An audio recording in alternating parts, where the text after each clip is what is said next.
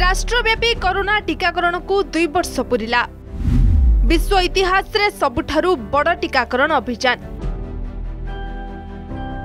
ଦୁଇ ବର୍ଷରେ ସାରା ଦେଶରେ ଲଗାଗଲା ଦୁଇଶହ କୋଡ଼ିଏ ଦଶମିକ ଏକ ଛଅ କୋଟି ଟିକା କେନ୍ଦ୍ରମନ୍ତ୍ରୀ ଧର୍ମେନ୍ଦ୍ର ପ୍ରଧାନ କହିଲେ ଭାରତର କରୋନା ଟିକାକରଣ ଅଭିଯାନ ସାରା ବିଶ୍ୱ ପାଇଁ ଏକ ମଡେଲ କରୋନା ଭ୍ୟାକ୍ସିନ୍ ଲଗାଯିବା ଆରମ୍ଭ ପ୍ରକ୍ରିୟାକୁ ଦୁଇ ବର୍ଷ ପୂରଣ ହୋଇଛି ଏହା ବିଶ୍ୱର ଇତିହାସରେ ସବୁଠାରୁ ବଡ଼ ଟିକାକରଣ ଅଭିଯାନ ସାବ୍ୟସ୍ତ ହୋଇଛି।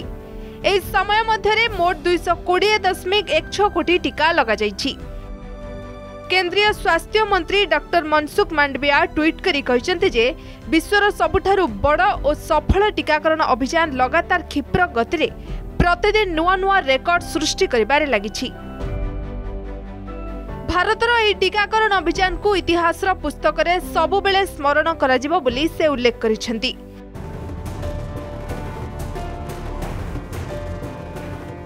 ସେ ଆହୁରି କହିଛନ୍ତି ଯେ ପ୍ରଧାନମନ୍ତ୍ରୀ ନରେନ୍ଦ୍ର ମୋଦିଙ୍କ ନେତୃତ୍ୱରେ ସବକା ପ୍ରୟାସ ମନ୍ତ୍ର ସହିତ ଆରମ୍ଭ ହୋଇଥିବା ଏହି ଟିକାକରଣ ଅଭିଯାନ ସାରା ବିଶ୍ୱକୁ ଦେଖାଇ ଦେଇଛି ଯେ ଏକତାର ସହିତ ଆମେ ଯେକୌଣସି ଲକ୍ଷ୍ୟକୁ ପ୍ରାପ୍ତ କରିପାରିବା। এই যাত্রায় বিভিন্ন আহ্বানর মোকাবিলা করে টিকাকরণ অভিযানকু দূরদূরান্ত যায় পৌঁছা যাইপারিছি মোদি সরকার সমস্তঙ্ক পাই ভ্যাকসিন সুনিশ্চিত করা দিগরে সমস্ত প্রকার পদক্ষেপ নিয়েছেন এখন আমার doctor innovator health care frontline worker ও টিকাকরণ অভিযান সহ জড়িত সমস্ত কৃতজ্ঞতা জ্ঞাপন করছি ଅନ୍ୟପକ୍ଷରେ ଭାରତର କରୋନା ଟିକାକରଣ ଅଭିଯାନ ସାରା ବିଶ୍ୱ ପାଇଁ ଏକ ମଡେଲ ବୋଲି କହିଛନ୍ତି କେନ୍ଦ୍ର ଶିକ୍ଷା ଦକ୍ଷତା ବିକାଶ ଓ ଉଦ୍ୟମିତା ମନ୍ତ୍ରୀ ଧର୍ମେନ୍ଦ୍ର ପ୍ରଧାନ।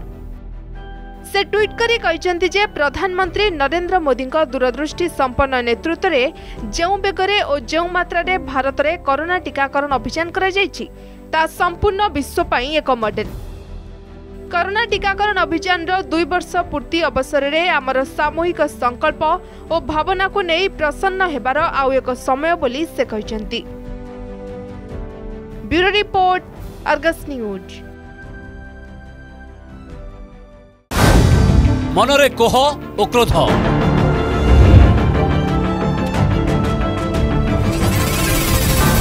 କାହାକୁ ପଚାରିବେ ପ୍ରଶ୍ନ? କିଏ ଦେବ ଉତ୍ତର ଆପଣଙ୍କ ପ୍ରଶ୍ନର ବେସାଲିସ ମଞ୍ଚ